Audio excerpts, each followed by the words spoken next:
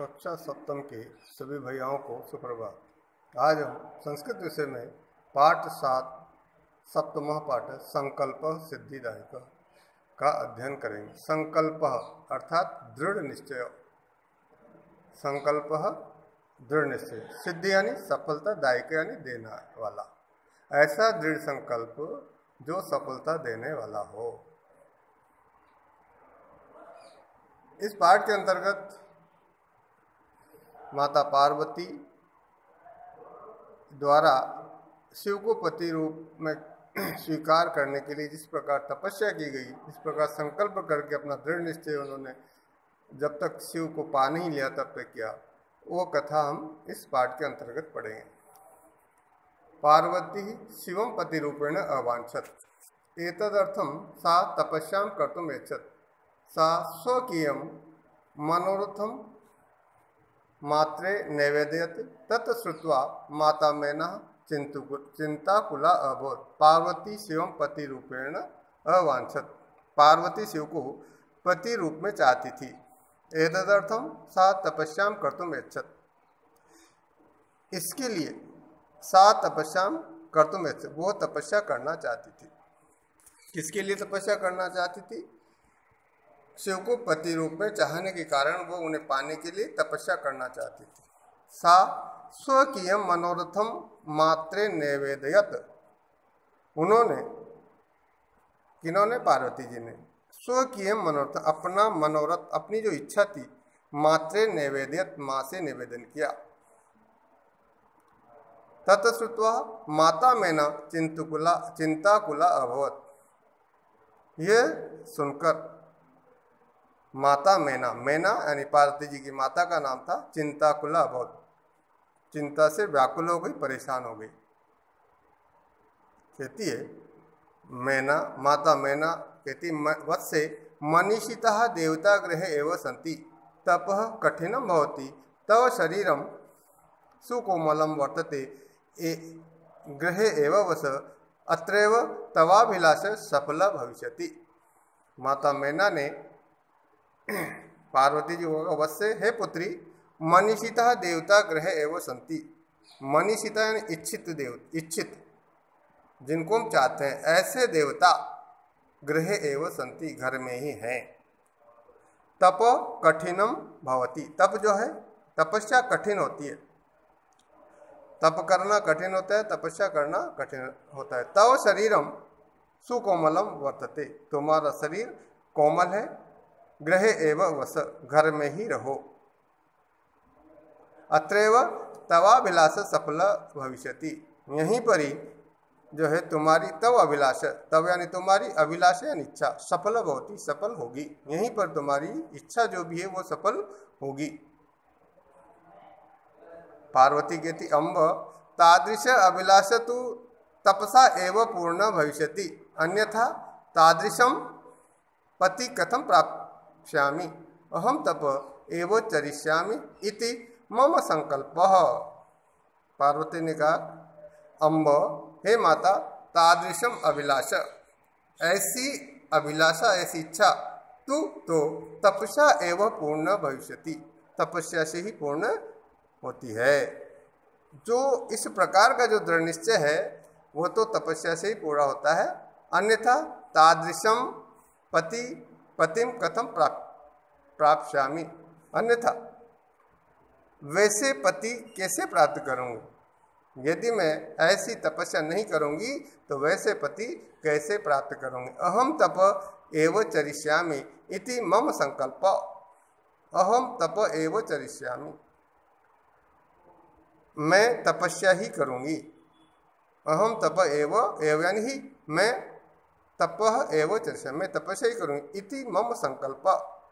ऐसा मेरा संकल्प है, मेरा निश्चय है। माता मैना कहती, पुत्री, त्वमेव मे जीवना अभिलाष। त्वमेव मे जीवना अभिलाष। मैना ने, माता मैना के पुत्री, है पुत्री, त्वमेव तुम ही, तुम धनेव तुम धनेव तुम ही, मे जीवनाभिलाष मेरी जीवन की इच्छा हो। तुम ही मेरी जीवन की इच्छा हो।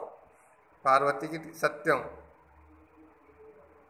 सत्य है। परम मम मन लक्ष्य प्राप्त आकुलितम वर्तते। सिद्धि प्राप्य पुनः तवेव शरण आगमिष्यामि। अध्यव विजयया साकम गौरी शिखरम गच्छामी। पार्वती जी ने कहा जब माता ने कहा कि तुम ही मेरे जीवन की अभिलाषा हो तो पार्वती कहती सत्यम सही है। परम मम मन लक्ष्यम प्राप्त आकुलितम वर्तते। किंतु मेरा मन जो है, लक्ष्य प्राप्त करने के लिए आकुलित यानी परेशान है। सिद्धि प्राप्त पुनः तवेव शरणम आगमिष्यामी। सिद्धि प्राप्त करके, सफलता प्राप्त करके मैं फिर से तुम्हारे पास ही, तुम्हारी शरण में ही लौट आऊँगी। अध्यय विजया साकम गौरी शिखरम गच्छामी। अध्यधन एव। आज ही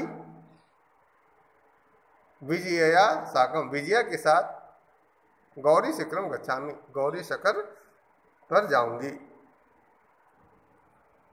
ऐसा कहते हैं, ततः पार्वती निष्क्रासती। निष्क्रामती और पार्वती वहाँ से निकल जाती है। ऐसा कह करके पार्वती वहाँ से निकल जाती है। पार्वती मनसा वचसा कर्मणा च तप एव तपति स्म। कदाचित रात्रो स्थंडिले कदाचित शिलायाम स्वपीति स्म। एकदा विजया अवदत। पार्वती मनसा वचना कर्म, वचसा कर्मणा च तप एव तपति स्म। पार्वती जो है, मन से, वचन से और कर्म से तप एव तपते, तपस्या ही कर रही थी। कदाचित रात्रो स्थंडिले कदाचित शिलायाम स्वपिति स्म। कदाचित कभी कभी तो रात्रि में भूमि पर, कभी जो है शिला पर, पत्थर पर स्वपिति स्पष्ट हो जाती थी। यानी उसका मन केवल मन वचन और वाणी तपस्या पे अधीन थी, तपस्या में लीन थी तो कभी भी वो विचार करती करती रात्रि में भूमि पर कभी पत्थर पर ही वो सो जाती थी। एकदा विजया अवदत, एक दिन विजया बोली, विजया उसकी सहेली जो बोली, सखी तत्प्रभावात हिंस पशु अपि तव सखाए जाता, पंचाग्नि व्रतमपि तुम अतप, पुनरपि तव अभिलाष न पूर्ण अभवत। न पूर्ण अभवत। ए सखी, विजय ने कहा कि सखी, है सखी, तव प्रभावात हिंसा पशुओपि, तव सखाव जाता। तुम्हारे सखी तप प्रभाव, तप के प्रभाव से हिंसक पशु भी तब सखाया जाता, तुम्हारे मित्र बन गए। तप प्रभाव, तप के प्रभाव से हिंसक पशु जो है वह भी तुम्हारे मित्र बन बन गए। पंचागतमपि तुम अतप। चारों तरफ़ अग्नि स्थापित करके तुमने तपस्या कर ली। पुनरपि तव अभिलाष न पूर्ण बोध पुनरपि पुनः धनपि। फिर भी तव अभिलाष न पूर्ण फिर भी तुम्हारी अभिलाषा, तुम्हारी इच्छा पूर्ण नहीं हुई। पूरी नहीं हुई। पार्वती कहती है विजय किम न जानसी, मनस्वी कदापि धैर्य न परित्यजति।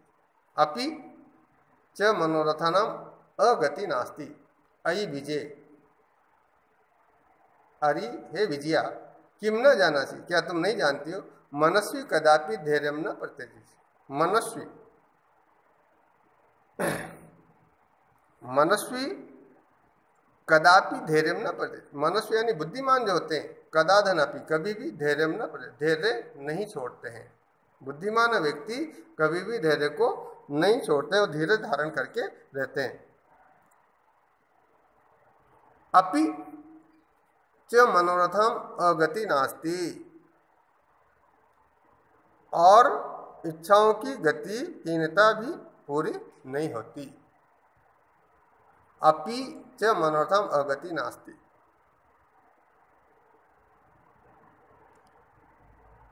और इच्छाओं की मनोर्थना यानी इच्छाओं की गतिहीनता भी पूरी नहीं होती।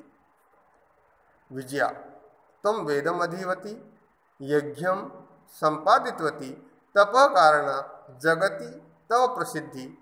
अपर्णा इति नामना तुम प्रथिता, पुनरपि तपस्या फलम नैव दृश्यते।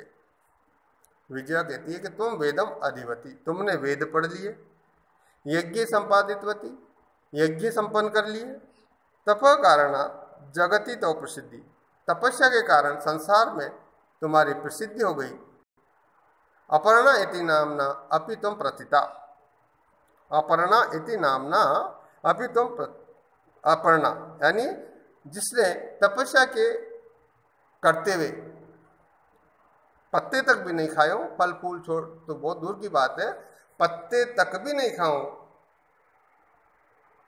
इस प्रकार की तपस्या करने वाली उसको अपर्णा कहा जाता है अपर्णा इति नामना अपितम प्रतिता अपर्णा, इस नाम से भी तुम प्रसिद्ध हो गई। पुनरपि तपस्या फलम नैव दृश्यते। फिर भी तपस्या फलम नैव दृश्यते, न धनेव नहीं। फिर भी पुनः धनपि, फिर भी तपस्या फलम, तपस्या का फल नैव दृश्यते, नहीं दिखाई देता। फिर भी तपस्या का फल दिखाई नहीं देता। पार्वती कहती है, अयि आतुर हृदय कथम तुम चिंतिता? हे आतुर हृदय वाली कथम तुम चिंतिता? तुम चिंतित क्यों हो? किस प्रकार चिंतित हो? नेपथ्य अई भो, अहम आश्रम अटू जलम वांछत नेपथ्य, यानी पर्दे के पीछे आवाज़ आती अही भो, हे, अहम आश्रम वटु जलम वाछामी पर्दे के पीछे से आवाज़ आती है, हे, अहम, मैं आश्रम वटु ब्रह्मचारी जलम वांछामी जल चाहता हूँ। नेपथ्य से पर्दे के पीछे एक आवाज़ आती है, अहम आश्रम वटु हे, मैं आश्रम का ब्रह्मचारी, जलम वांछामी जल चाहता हूँ। स स सभ्रमम विजय, पश्य कोपी वटु आगतो अस्ति। घबराते, स संभ्रमम घबराते, विजय, पश्य कोपी वटु आगतो अस्ति। विजया से कहती है, हे विजय, पश्य देखो, कोपी वटु आगतो अस्ति कोई ब्रह्मचारी आया है।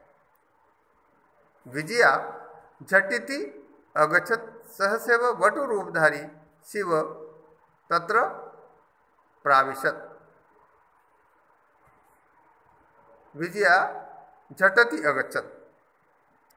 विजय तुरंत आती है। सहसेव अचानक वटु रूपधारी शिव। ब्रह्मचारी वेश में शिव तत्र प्राविशित। ब्रह्मचारी के वेश में शिव वहाँ पर प्रवेश करते हैं। विजया, वटो स्वागतम ते। हे ब्रह्मचारी, स्वागतम ते, आपका स्वागत है। उपवेशतु। भगवान, आप बैठिए। इम मैं सखी पार्वती, ये मेरी सहेली पार्वती है। शिवम प्राप्तुम अत्र तप करोति। शिवम प्राप्तुम अत्र तप करोति। शिव को प्राप्त करने के लिए यहाँ तपस्या करती है, कर रही है। ऐसा विजया ने उस ब्रह्मचारी वेश धारण करके जो शिव वहाँ पर आए थे, उनको निवेदन किया। आज हम इतना ही पढ़ेंगे।